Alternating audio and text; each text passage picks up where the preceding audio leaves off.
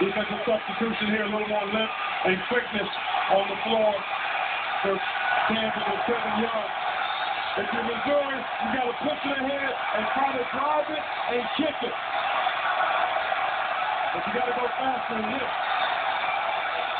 Way to go. Robinson backs away. No shot. KU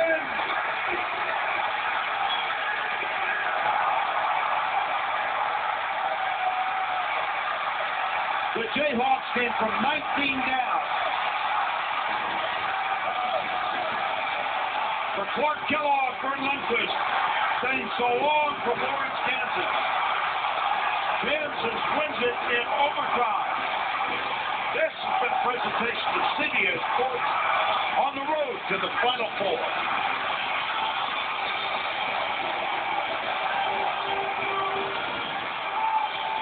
At the of the game,